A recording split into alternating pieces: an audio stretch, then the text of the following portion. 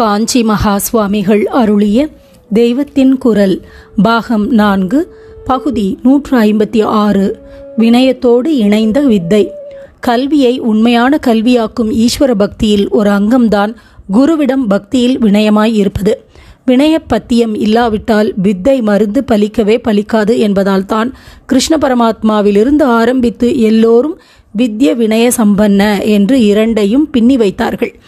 சம்பளத்தை நினைக்காமல் சிஷ்யனுக்கு பாத்தியார் சோறு போட்டு தன் வீட்டில் வைத்து ரட்சிக்கிற குருகுலத்தில்தான் இப்படிப்பட்ட வினயம் உண்டாகும். இந்த வினயம் பூர்த்தியாவதற்கே முழு சோறும் அவனே போடாமல் சிஷ்யனை வெளியில் வீடுகளில் போய் பிக்ஷை வாங்கி வரச் செல்வது. பிச்சைக்காரனாக போய் நின்றால் தன்னால் செருக்கு அறுபட்டு பணிவு உண்டாகிவிடும். ஈஸ்வர பக்தியாகட்டும் குருவிடம் வினயமாகட்டும் இவை எதற்கு என்றால் படிக்கிறவனின் அகங்காரத்தை அடக்குவதற்குத்தான்.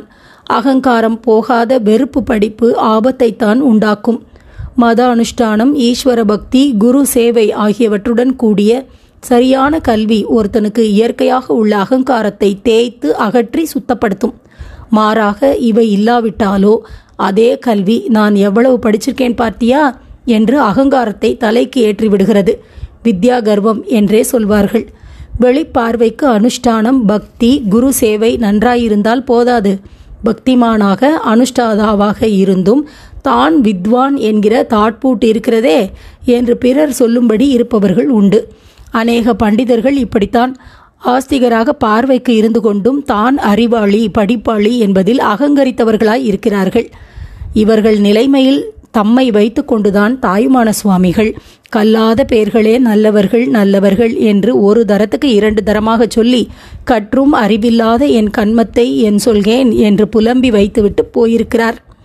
வெளிமட்டத்தில் மட்டும் இல்லாமல் உண்மையான உள்ளூரிய பக்தியோடு சமய ஆச்சரணையோடு குரு விசுவாசத்தோடு கல்வி பயின்றால் இப்படி இருக்காது. கல்லாத பேர் பொதுவாக ஓரளவுக்கு நல்லவர்களாய் இருக்கிறார்கள் என்றால் இப்படி உண்மையான அர்த்தத்தில் கற்றவர்களோ மகா உத்தமர்களாகவே இருப்பார்கள். கல்லாத காட்டுவாசியை விட படித்தவர் அதிகம் தப்பில் போவதற்கு காரணம் படிப்பு முறை அகங்காரத்தை அதிகமாக்குவதாய் இருப்பதுதான்.